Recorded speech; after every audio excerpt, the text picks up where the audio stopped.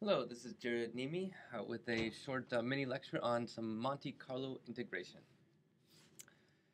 Alright, so the idea behind Monte Carlo integration is that if you're trying to evaluate an integral of this form, so for those familiar with regular integrals, uh, the right side might look familiar, where you just have some integral over some domain of x, uh, and here we've split it up into two functions, a function h of x and f of x. for the moment, you could think of that as just a single function of x. Uh, we're going to cast it in uh, some statistical notation here where we actually are calculating the expectation under the density f of the function h of the random variable x. Alright, so if we can write down the integral that we're trying to solve as the expectation of some function of a random variable, then what we can do is we can obtain a Monte Carlo estimate. So this Monte Carlo estimate is obtained by First, sampling a whole bunch of realizations from the distribution for f of x. Right, this might be a normal distribution, a uniform distribution, something of that nature. And so we're going to sample a bunch of values from this distribution, and then we're going to calculate the function h of all those values that we just randomly sampled. And we're going to take the average over all of those values of h. That is exactly what this estimate h sub j is where the subscript here is indicating how many simulations we've taken. So capital J here is how many simulations we're taking. So basically simulate from F, calculate H, H, take the average. And now we know a couple of pieces uh, from probability theory that are going to help us understand how good this Monte Carlo estimate is. The first thing that we know is that that Monte Carlo estimate converges almost surely to the quantity that we're trying to estimate due to the strong law of large numbers. The second thing that we know is that if h has a finite expectation under f, then we know that the, the Monte Carlo estimate that we're calculating converges in distribution to a normal distribution centered at the quantity that we're trying to estimate and with some variance vj we're going to estimate this variance uh, using the, the empirical estimate of the variance of our h's and dividing by the number of samples we've taken. Often we refer to this as the standard error of the estimate. Alright, and just to expand it further, here's at least one uh, estimate that we could use for our variance.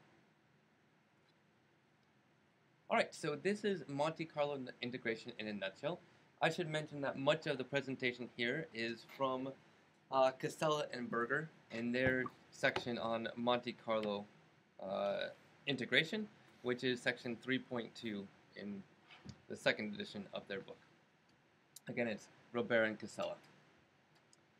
I apologize if I said Casella and Berger. Robert and Casella. All right, so that's the fundamental idea behind Monte Carlo integration.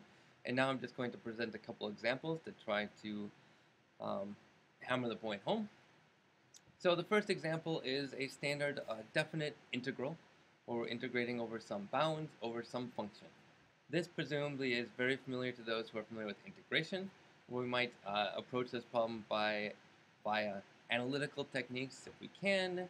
Uh, if we can't do analytical techniques, we might use something like Riemann integration or Lebesgue integration or something of that nature.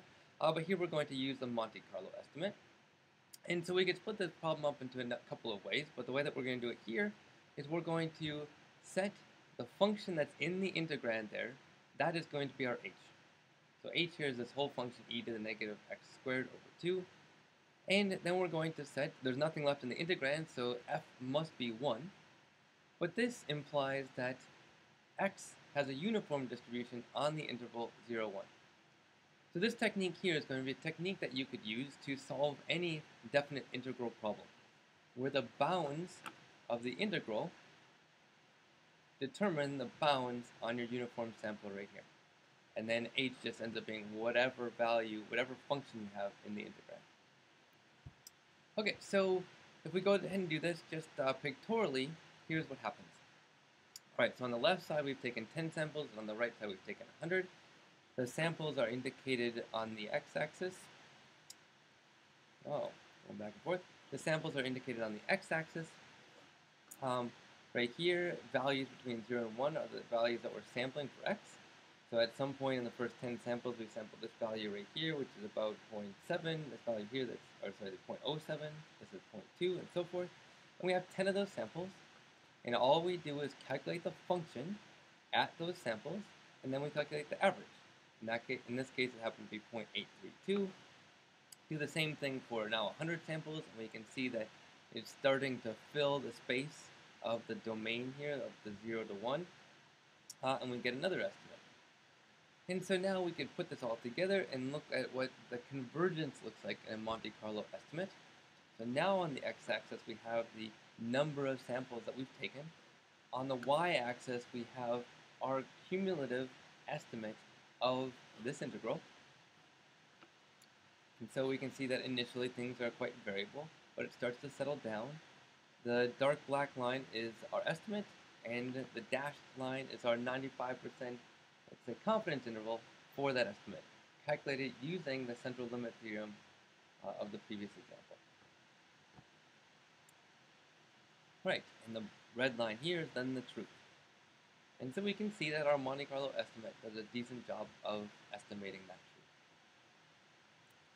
Right, in a slightly different uh, example, suppose we're interested now in, in, in evaluating this expectation which we can write as an integral in this fashion.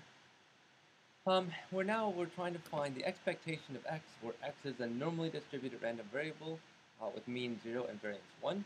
For those who've taken uh, introductory statistics courses, you should know immediately what this value should be. Uh, but I just wanted to point out that this is another integral. Now it's over an infinite. The bounds here on the integral are infinite, so we cannot use our uh, uniform trick of trying to sample uniformly, which would now be on the whole real line. Um, and so now we need to split up the integral a bit differently. The convenient way to split up this integral is to take the second part here, which is the density of a normal distribution, and sample from that, and then evaluate the quantity x. Alright, so in terms of our notation before, h of x is just x, and f of x is the probability density function for a standard normal. Uh, so that just means that we sample x from a normal 0, 1, and we calculate x and take the average. And there we have it. Uh, at this point, I have not calculated the bounds uh, for our confidence intervals for our Monte Carlo estimate, you could go ahead and do that. Alright, so this was a, an alternative example here where we didn't sample from a uniform distribution, but we sampled from some other distribution. In summary now, I'd just like to show how to do this in R. So again, suppose that you can write the problem in this format, the expectation under f of some function h of x. Well, in R, you could, provided that you have this R function, which is going to be some function that draws random variables from your function f. In this case, it's going to draw capital J of them, where we set j equal to 100. So we sample 100 values from f, calculate x for all those values, and we can get an estimate by taking the mean of those values. And now if we wanted the Monte Carlo uncertainty, we could go ahead and compute that. Here we have the estimate plus or minus a value. This is for now a 95% uh, interval, where the standard deviation here multiply by the square root of the empirical variance, or h, divided by the number of samples we take. Alright, so I hope you've I enjoyed this quick introduction to Monte Carlo integration. Again, I suggest if you want more thorough understanding to go ahead and read Robert Casella, uh, starting with section 3.2.